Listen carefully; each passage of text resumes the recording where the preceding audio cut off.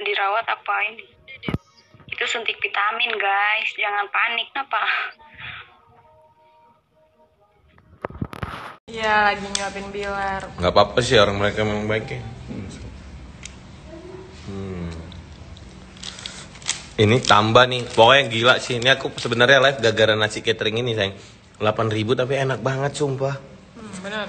jadi ibunya sebenarnya cuman mau Ya ngebantu doain ya Dede biar cepat sembuh soalnya dia benar-benar kerja keras dalam beberapa Hmm. hari ini. Kita lihat sendiri sih. mau menghibur ya Iya pergi pagi terus pulang ya tengah malam karena emang itu syuting terus nggak bukannya main-main. Hmm. jadwalnya padat Iya. Hmm. terus dia memang bela-belain ya ke podcast kita sampai sampai pagi ya sampai, subuh Iya sampai subuh. sampai baik banget sampai orangnya subuh. makanya kalian harus doain tuh orang baik jadi doa kita sih kalau orang baik ketemu orang baik gitu, gitu. Maksudnya mudah-mudahan kita juga jadi orang baik lah Doain juga ya. kamu belum ada makan ya sayang? Oh, belum. oh ya udah aku suapin Udah tadi satu. ah serius aku ini udah kedua Kan nih. udah yang ayam kalau ada yang mau ditelepon ada yang mau nanya boleh ya bilang terus sayang Hmm, itu kan jelas ya apa?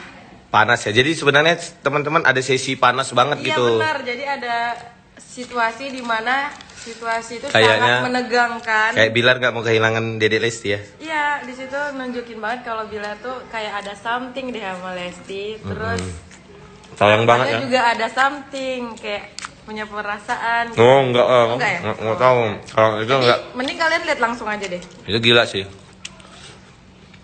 Kalau Rizky Bilarnya ketahuan banget ingin jagain Dede ya, Iya, dia bener-bener jagain Lesti. jagain Dede. Hmm, Moreno lagi, Moreno tuh orangnya baik banget. Mungkin yang Nah, ada kenal. spesial buat Moreno juga. Hmm. Moreno nanti ada spesial di interview. Bagaimana lihat kedekatan Dede Lesti dan Rizky Bilar. Rizky Bilar. Pokoknya ini gila sih ini podcast yang bener-bener terbaru. Iya, ini jarang ada podcast kayak gini. Hmm. Di mana ngadirin orang, teman-teman dekatnya mereka. Hmm. Terus di situ ngelucon, ngelawak. Karena ruangan podcastnya bagus ya sayangnya. Iya, Jadi